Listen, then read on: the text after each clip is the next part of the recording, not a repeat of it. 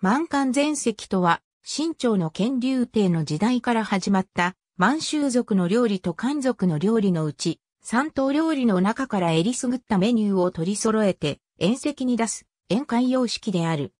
後に、関東料理など、漢族の他の地方料理も加えるようになり、清太閤の時代になると、さらに洗練されたものとなった。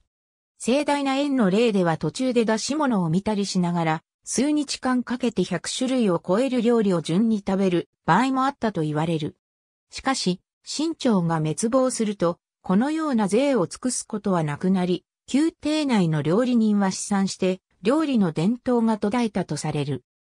満漢全席の中でも一部の料理については、宮廷内の料理人が伝え一般的になっているものもあるが、現在、中華料理店で出される満漢全席と言われるものの多くは、宮廷と無縁の料理人が資料に基づいて、あるいは想像を膨らませて調理したものが多いとされる。